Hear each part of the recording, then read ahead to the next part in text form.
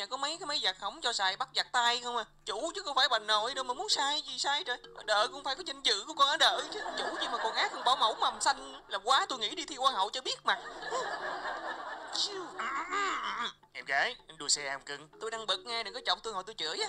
Ai là cũng cưng, bật gì hết cưng. Chắc là bị bò đá, ổ lộn bồ đá nữa chứ gì hả Rồi sao bị bồ đá có ảnh hưởng gì tới lực hút trái đất không? Hả? Ai biểu con gái gì mà dữ như mà chặn lửa Không bị đá cũng uổng. Sáng giờ ăn uống gì chưa? Chưa, đang đói muốn xỉu luôn. Vậy đi ăn liền đi Chứ để tôi đạp một cái là 8 tháng sau cháu cũng không ăn được nữa có tin không? Ê, dài sốc dữ à. Mới sáng sớm mà gặp âm binh gì đâu không à. Thôi lượng đi cho nước nó trong coi. Chỉ là bị bồ đá thôi mà, ta bị ngựa đá hoài có sao đâu. Ta bị nám nên ta đang buồn không ngồi đi chỗ khác đi. Bây giờ năn nỉ ta đi rồi ta chỉ thuốc trị nám cho đẹp. Đẹp thì mới có người yêu được. Ta không hiểu sao tự nhiên ta lại bị nám nữa. Con gái thường là da mặt mỏng Mà ngươi lại gian nắng như thế này Cho nên bị nám cũng dễ hiểu mà thôi. Hèn gì con trai mặt dày hay sợ Đâu phải muốn mặt dày là được. Má ta nói mặt dày là của trời cho Ai mà không có ốm o gầy mòn á. Yêu anh đi nha anh giàu dữ nè